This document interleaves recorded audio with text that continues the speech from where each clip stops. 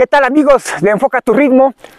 ¿Quieren que les muestre el mejor lugar del planeta para correr con una altimetría de 4.200 metros sobre el nivel del mar, con unos paisajes de miedo y un terreno increíble? Quédense en esta cápsula que se los muestro todo.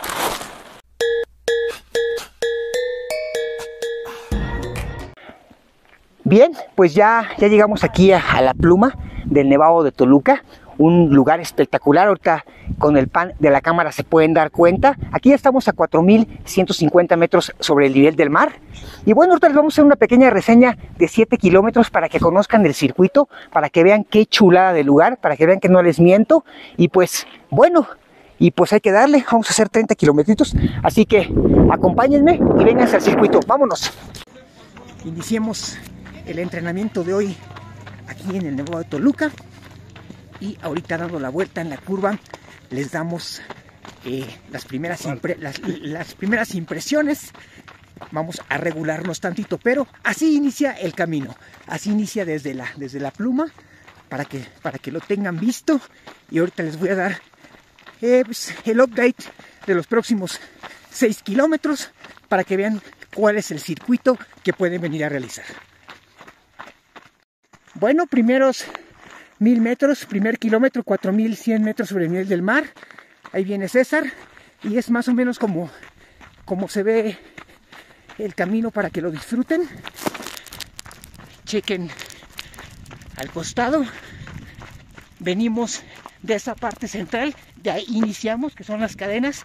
Ahí es donde iniciamos. Y pues les seguiré reportando.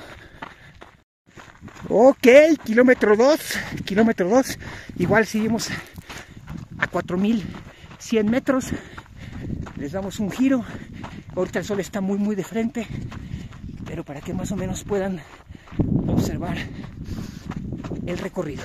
Que ahorita de regreso ya podrán observar mejor este paisaje. Venga. Kilómetro 4200. Correcto aquí ya estamos entrando a unos 500 metros a lo que es el cráter para que lo vayan viendo. Por aquí por aquí venimos. Qué tal qué tal el recorrido y la altimetría 4200 metros sobre el nivel del mar y parejito. Bien la entrada a los 5 kilómetros ya 4200 metros de altura. Miren esta entrada miren esta toma. Aquí estamos entrando al, al. Ahorita en la siguiente toma vamos a poder ver las lagunas después del kilómetro 6. Así que así la vivimos viviendo. Y aprovecho para mandar un saludo pues, a mi amiga Mariana Marianita, que me dijo que, que quería el saludo. Ahí está. Y claro que sí. Y el saludo para todos mis amigos, para toda la banda cancunense, para toda la banda correlona y para toda la nueva banda de Morelos, bestias, bestias de la montaña, Tepeyotl y todos mis cuates. Venga, vámonos al 6. Y ya en el kilómetro 6, pues tenemos otro de los espectáculos, que es ya el mirador oficial de, la Laguna del Sol. Miren esta belleza, miren esta belleza. Se los voy a mostrar el letrero para que lo puedan ver. Ok, y listo. Y vamos a continuar por el camino. Por allá arriba venimos. Ahí viene el buen César dándole con todo. Venga, vámonos para el 7.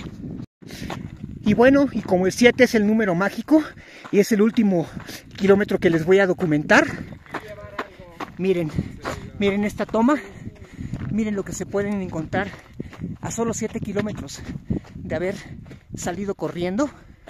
Les doy un 360 a lo que es la cordillera.